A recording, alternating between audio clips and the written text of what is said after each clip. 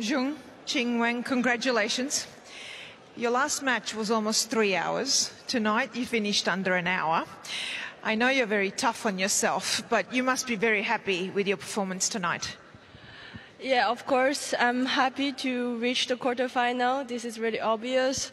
Uh, of course, compared to the last match, this match was much more shorter, but I want to say congrats to the opponent to make a big effort to arrive here.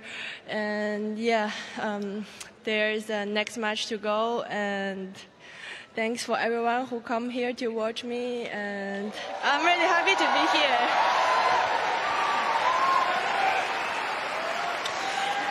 Well, that, that leads me into my next question, next question. You get a lot of support here, but there's also a lot of Chinese fans and supporters here. You just played in prime time in China.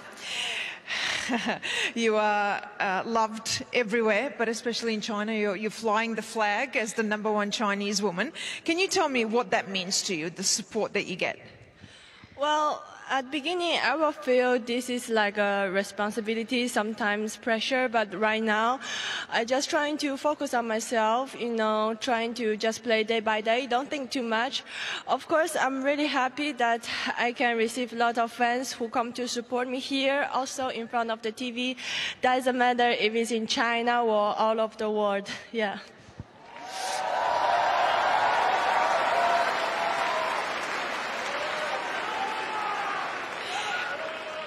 Well, talking about pressure and expectation, um, that leads me to my next question because your last press conference, Li Na, crashed your press conference. It was a, a, beautiful moment that went viral.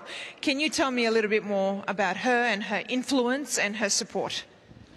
Well, the last interview when I met her, I was really surprised. I think everybody can see that she's really classic and I think powerful woman. And honestly, I think she looks much more beautiful than when I saw her on TV, than when I was young. Yes. I think you're very powerful yourself. Uh, that um, just one last question. Second consecutive quarterfinal of a Grand Slam. US Open, you said that that was your first experience in a quarterfinal of a Grand Slam. You were very nervous. What do you take out of that experience going into the quarterfinal here in two days' time? Well, obviously, second time I have more experience, but I just trying to tell myself, focus on the moment, don't think too much. Also, Li Na told me last time, she gave me advice, say to me, just play, don't think too much. Yeah. Keep it simple, yeah? Yeah, that's right. Keep simple. Well, you're doing just that. You kept it simple tonight. 59 minutes. Congratulations. You're through to the quarterfinals of the Australian Open. Ladies and gentlemen, Zhong Chin Wen.